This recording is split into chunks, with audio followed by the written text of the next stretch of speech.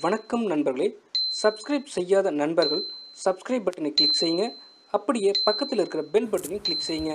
சமீப காலத்தில் வாட்ஸ்அப் தகவல்களை அதன் பயனாளரின் அனுமதியின்றி திருடுவது அழிப்பது போன்ற சம்பவங்கள் அதிகமாக நடந்தது. இதை எப்படி தடுப்பது என தெரியாமல் விழிப்பிதுங்கிய வாட்ஸ்அப் நிறுவனத்தினர் வாட்ஸ்அப்பை அப்டேட் செய்ய சொல்லி அறிவுறுத்தினர்.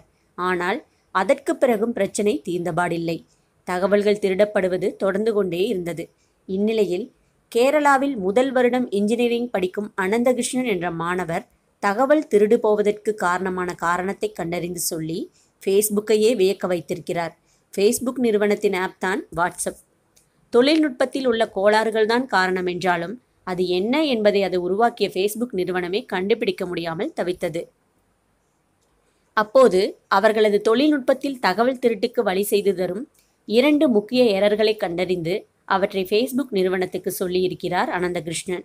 இவ்வளவு பெரிய பிரச்சனையை கண்டறிந்து கொடுத்த அவரது இந்த அறிவார்ந்த செயலை பாராட்டிய ஃபேஸ்புக் நிறுவனம் அவருக்கு சன்மானமாக ஐநூறு டாலர்கள் கொடுத்து கௌரவித்துள்ளது. இந்திய மதிப்பில் முப்பத்தி நான்காயிரம் ரூபாய் ஆகும். அனந்தகிருஷ்ணன் கேரளா போலீசின் பிரிவான் கேரளா சைபர் ரோம் இணைந்து ஹேக்கிங் பற்றிய ஆய்வில் ஈடுபட்டுள்ளார் என்பது குறிப்பிடத்தக்கது. தமிழ் டேட்டா சேனலை பார்க்கமைக்கு நன்றி.